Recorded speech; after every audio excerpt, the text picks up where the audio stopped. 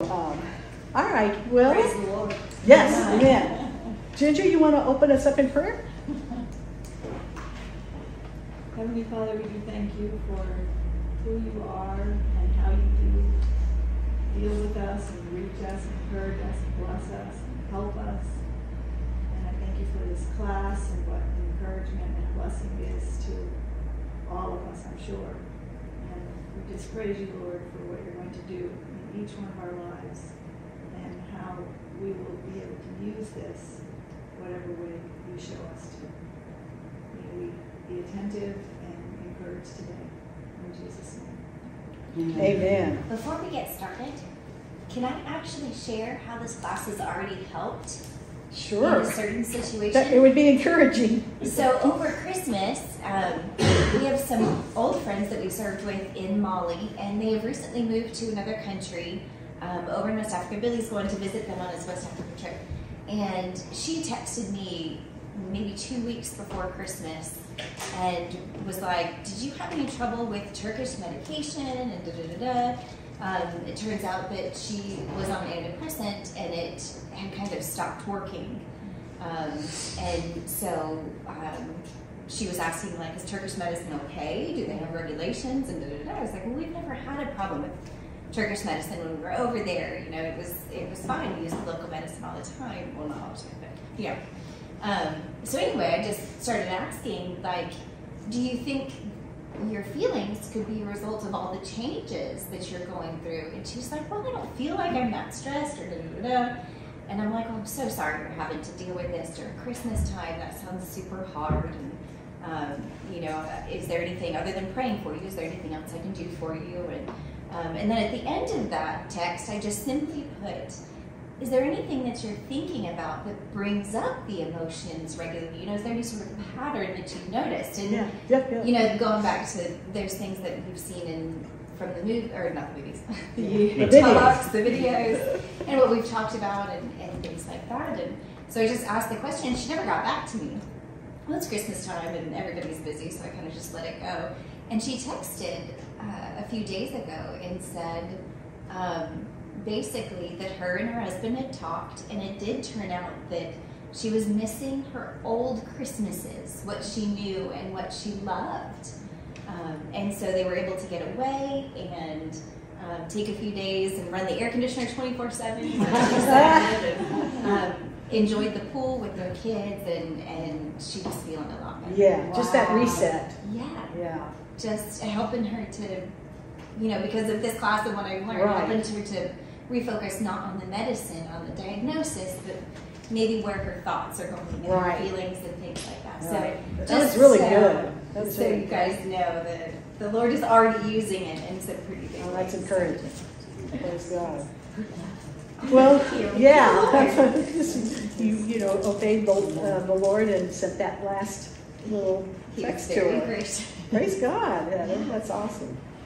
Well, um, and the last, uh, the Peacemaker one, you know, I brought in those circuit jammers too because, uh, you know, as, as you guys, as we move forward, you're going to see that communication is such a huge part of conflict or the lack of, or, um, you know, sometimes it's uh, manipulated, sometimes it's just poor communication. But anyway, you're going to see that communication plays such a key role. So I, I thought that we'd have a little fun with the circuit jammers and um, just kind of to make us more aware that, and this is something you're going to learn moving forward too, that, um, you know, no matter how proper our behavior, uh, of, of the outer man of our but our behavior is defiled if the motives and intentions of our heart are impure. So that's what you want to focus on through the, from teachings from here on out is um, motives and intentions of the heart. And you know, are they wrong? Are they wrong motives and intentions of the heart? And so I think that's what you're going to start learning as we move forward. And in fact, Peacemaker three starts even talking about how you know pride's the biggest peace breaker that there is, and also that you have to confront sin in order for there to be peace.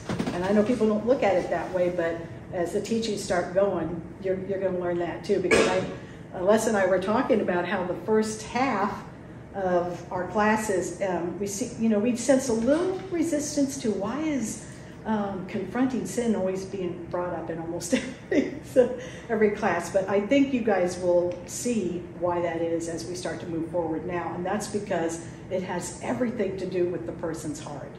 So it's certainly if you're counseling a couple, there's two, you know, and um, even if you're just counseling one person, it's usually a conflict with somebody else, a family member or a friend or something like that. So that's what the counselors try to do is separate, you know, separate things out for them. Um, so today we're going to look deeper at that diagram, the slippery slope. You guys have that on page 42. And it, it, what it does is talk about responses to conflict, how people react. And I kind of messed this up. I didn't realize Les would have a hard time uh, reprinting it. But, so find it either on your Peacemaker pamphlet that I need you guys, or else page 42. Is it on there, you guys, on page 42? It should be. My book's different than you guys. Yeah, that's the one. So these are the responses arranged on a hill. And the idea is that, you know, imagine yourself, imagine the hill covered in ice. And if you go too far to the left or too far to the right, then a lot of things are going to start happening and, and building up. And so that was the purpose of this is, um, and, uh, I know that Ken Sande, who wrote the book, he was trying to break this down. Like uh, these three on the left, suicide, flight, denial, uh, these are escape mechanisms. That's for people who absolutely, definitely just want to avoid any conflict at all. And Ken Sande calls that peace faking. All right, and then in the turquoise here, these are commands by God empowered by the gospel. I wanted to make that clear. Uh, the first three are personal peacemaking. So, sometimes you overlook, sometimes communication, negotiation, um, mediation. Now, to me, when you start with arbitration, now you're involving more people, and when you involve more people, now you're going to get an imposed result instead of just people being able to work it out between themselves. So, um, and then of course, church discipline, that's why it's under God's command, empowered by the Gospels, because there is, uh, you know, church discipline in Matthew, how, how that's done for conflict that can't be resolved. And um, definitely on this side, litigation, assault, murder. So this is peace breaking. And if you'll notice, this group here are people who are focusing on you. This is focus on me to the left. Um, and so you want to have your eyes on God. I think that's why Ken might have put that up here at, at the top. And I can tell you, you guys, whenever you involve litigation, and some of you guys might already know this, but when you involve litigation, you have to know that uh, once you've entered the legal system, you've entered a very adversarial system. Your attorney's paid to make you look faultless and paint the defendant as the one who is entirely responsible. And then that takes a devastating toll on everybody involved and even has a ripple effect. And like, I'll, I'll give you a good example. When I was in the legal field, and we would have a married couple coming in, they're, they're wanting to get divorced, they have children, of course, child support now becomes involved. I tried my best to get them to, you know, let's talk this out, let's figure this out, let's take a look at your finances, let's, you know, let's work this out. And one was very revengeful, and so if you have a person with a revengeful heart, it's not going to go well.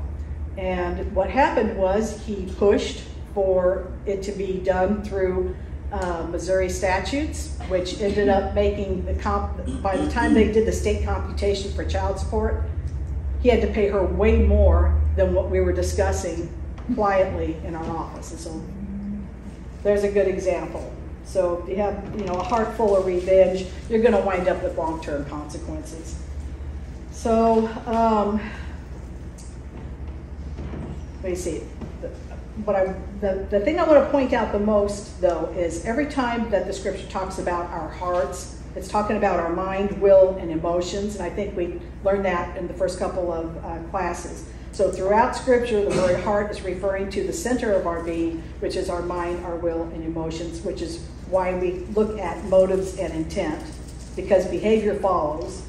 So uh, in the context of a counselor, Uh, in Philippians 2, 3 and 4, the first time I read that, I was, I was thinking, wow, that is fundamentally what is wrong with people today when you, when you have somebody that's full of conceit and selfish ambition.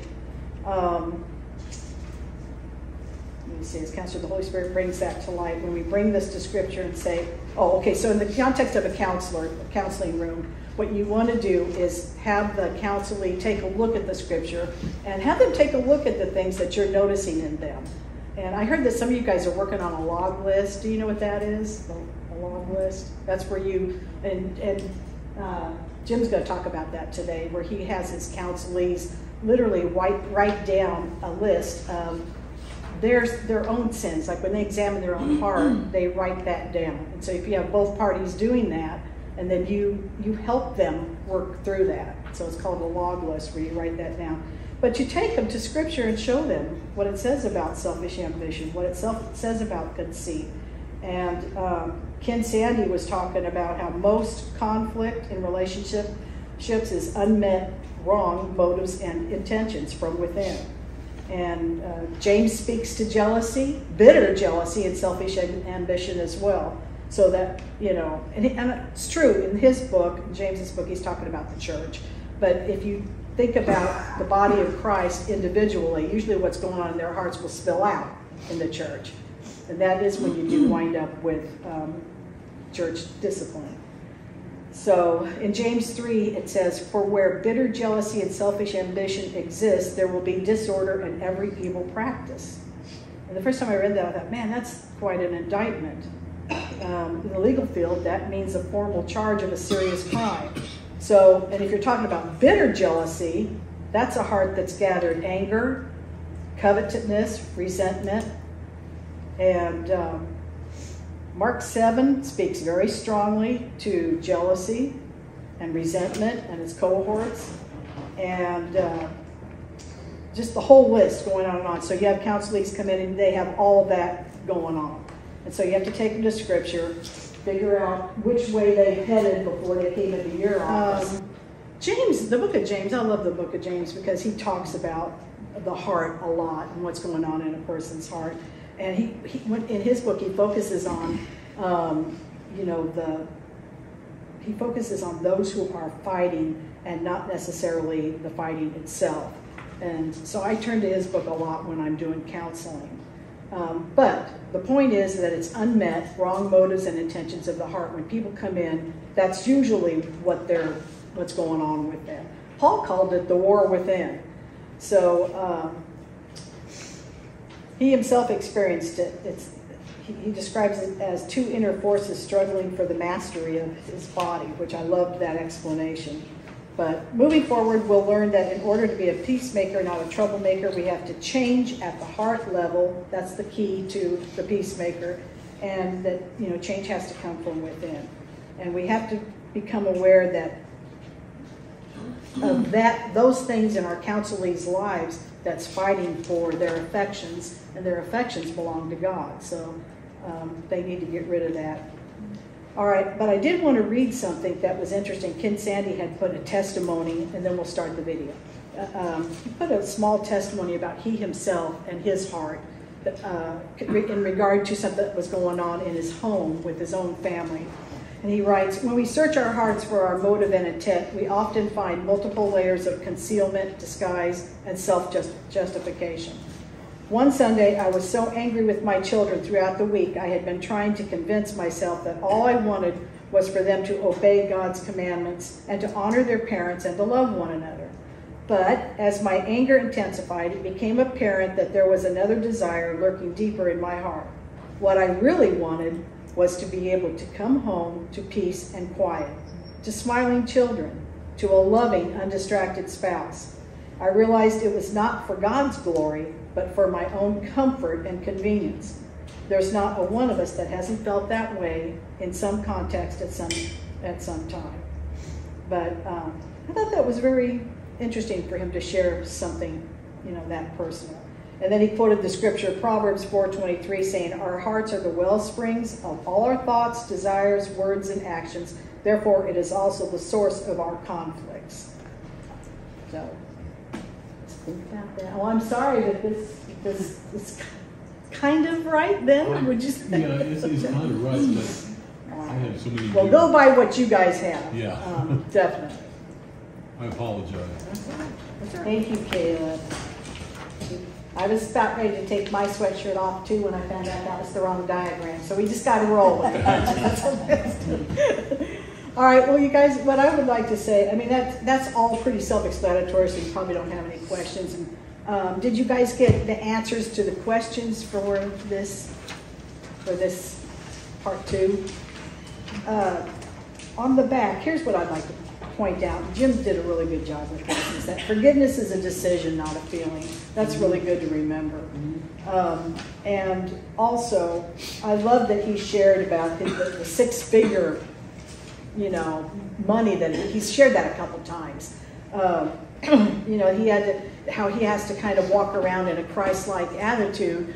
He's still hoping and praying that this gentleman will come and um, repent and talk to him, even if he doesn't pay him back. He's, he wants to be in an attitude where he's ready to forgive it, you know, if he, if he does come around. So I love that. That's, that's the Christian walk.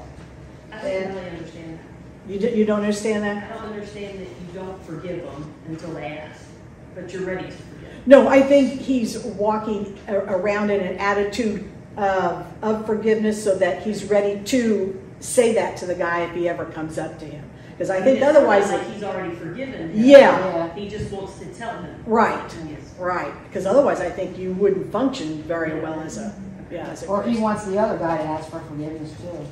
Yeah. Well, I- he says, I'm, I'm hoping someday he'll come he, I think it's, way he worded was so that he can more fully forgive him. Right. The full fruit of the forgiveness could be that you would ask me and I would forgive you. Yeah. I've already forgiven you, but if you would ask me, that would fulfill the whole, you've come to me and asked me, and yes, I will forgive you. Yeah, So that you that- know That's have exactly right, Tom, and he walks around in that state of mind, mm-hmm. so I, I, I love that. Um, you know, Naya, was, you asked me about, has anybody ever threatened to murder somebody in, in my office? No. But I have, I did have to get kind of creative because a, a wife who'd been offended by an affair, um, uh, after a service, before the service was even over, in fact, it was a lady, I was I was counseling the wife, and um, she came and grabbed me and kind of pulled me out of a uh, out of a service. She said, "She's here. She's here. Who's here? The, mistress. The mistress is here." And I'm waiting until she comes out through that door, and I am going to pounce. And I was like, "Whoa, whoa, no, whoa, wait a minute. Uh-uh. Okay, let's rethink this. Let's calm down. rethink this." And so I did have to. Um, I let the pastor know what was going to happen if I did not get to mediate a meeting between the mistress and the wife.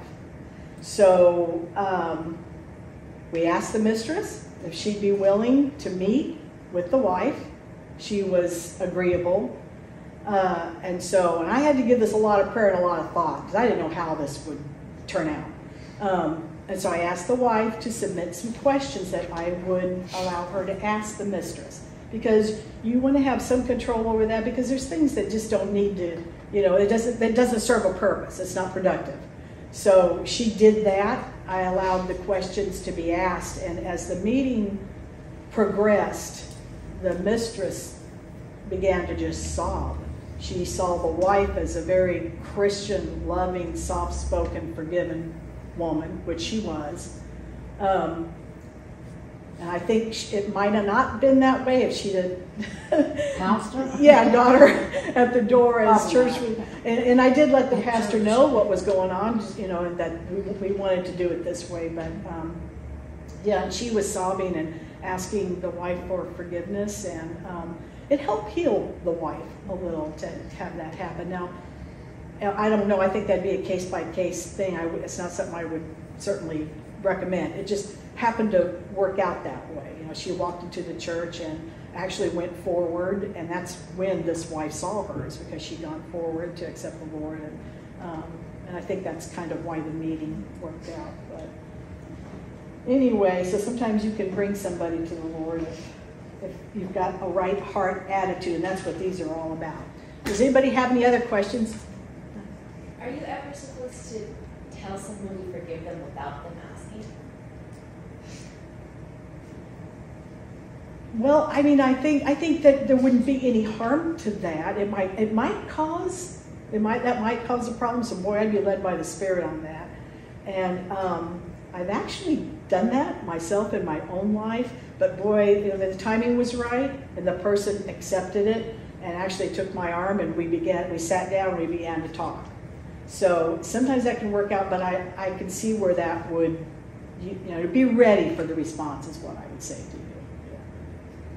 I think my, uh, question is just about the same as Nia's, that I thought I heard them say that if you have wronged someone, sinned against them, but it is not come to light and they don't know it, but you've realized it and you've been convicted of it, and you've asked for God's forgiveness, there is no reason to tell that person. Did I hear that? Well, Jim Newheiser was talking about the thought process, like our thinking. So in a so in your mind, if you've sinned by um, you know looking lustfully at another woman or or whatever that might be, coveting uh, somebody else's spouse or a car, what you know that sort of thing. That doesn't need to be. You don't need to run to that person and and confess that sin. He's saying, you know, you ask God to forgive you. You you if you're feeling a conviction, then you ask God to forgive you. and God forgives you.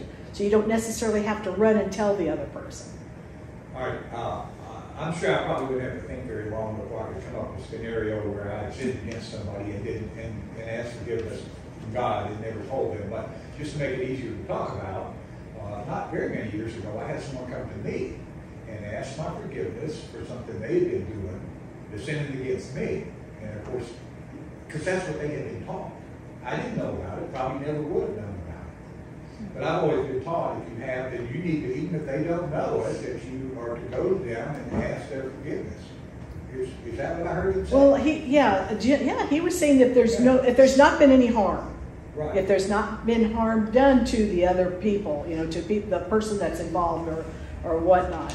Um, yeah, he's saying you don't have to confess everything. He kind of used the toothpaste example too, and uh, you know about you know you don't have to um, make a big deal out of something like this as well. So it was kind of all in that same line of he's trying to say think about being the peacemaker when it comes to something like that, where it might cause uh, a lot of conflict. If you go to somebody, you go. Oh, I've been sinning against you, and I just I want to ask for your forgiveness. And you now you've startled them and you've surprised them, and now here's going to come conflict. So I think that it was in the context of that. I think, So um, on the flip side, and I don't remember now if it was the last one or this one, but they bring up being able to overlook sins against you. And I think this might be kind of the flip side of that. Uh, you know, if it's trivial, if somebody commits a, a trivial sin against you, they hurt your feelings, they say something out of context, it's, it's better to overlook that than to pursue it. And I think there may be a flip side of that as far as going and pursuing, you know, uh, something you've done against somebody if it's trivial. And yeah, but yet at, at the same time, and I'm thinking out loud, and when I do that, I get room in my mouth for both feet. Uh, but there has to be, I mean, obviously, the first person you've, or the first one you've sinned against is the Lord. So there's where you go for forgiveness first. And then that second level is going to be the person that you you affected. And I mean, they even go into what if it's affected many people? You need to go to every one of those and and you know ask forgiveness uh, and repent to each one of those. Uh, but I think there's some thought into you know ask forgiveness from the Lord. Okay, now what's the outcome of my going to this person and saying, hey, look, What would be accomplished, in other words? In a lot of cases, what would be accomplished? Because for one thing, if you told them, it might hurt them deeply. Right. That's what. That's why I'm saying you, Yeah. you weigh it out. I, I would. I think it would be definitely be a case by case This situation. particular case was, was really kind of funny because the person that was confessing all this stuff was actually confessing what he had done and another member who happened to be in the room at the same time too, who, who was not, didn't regret anything he had done. And, uh, so he dragged him under the bus with him. It's really kind of funny. Yeah, I didn't even get in there that day, I don't know.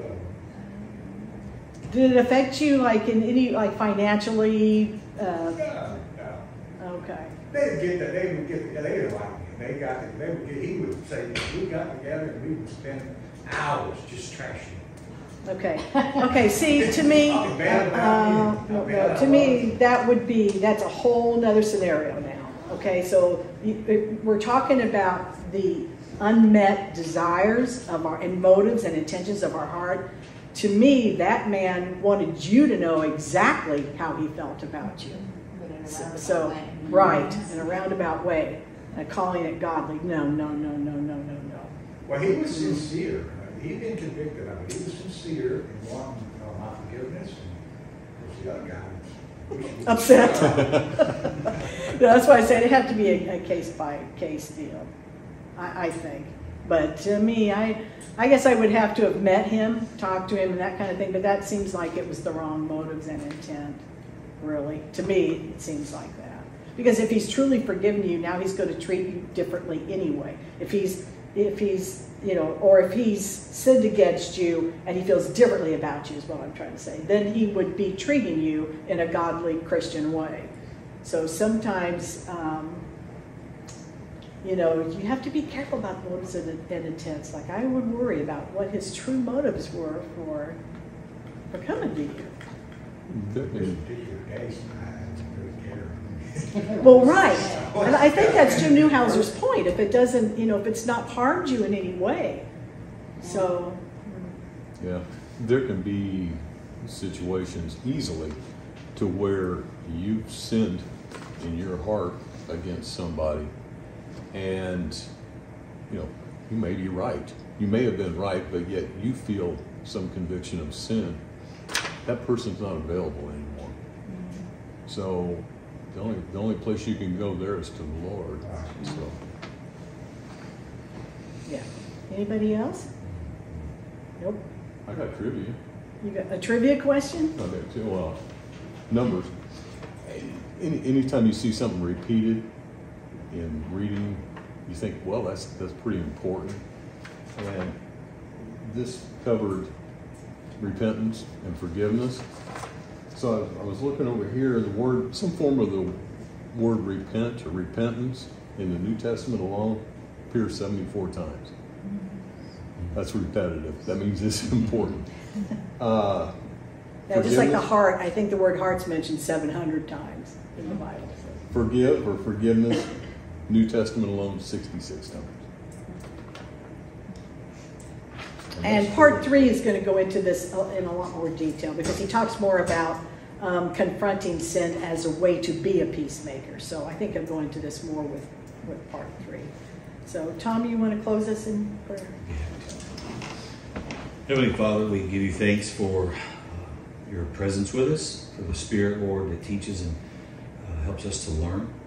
God, I thank you for your word, for the faithfulness, uh, for the for the truth of your word, Lord, um, for the steadfastness, the unchanging uh, rules, disciplines, guidances, Lord, things that help us live and live rightly and live to follow after Jesus. Thank you, Lord, that we can turn to your word.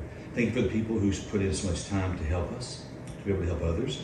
God, help us to look into our own hearts tonight uh, first and look into the mirror to see what's in our own eyes.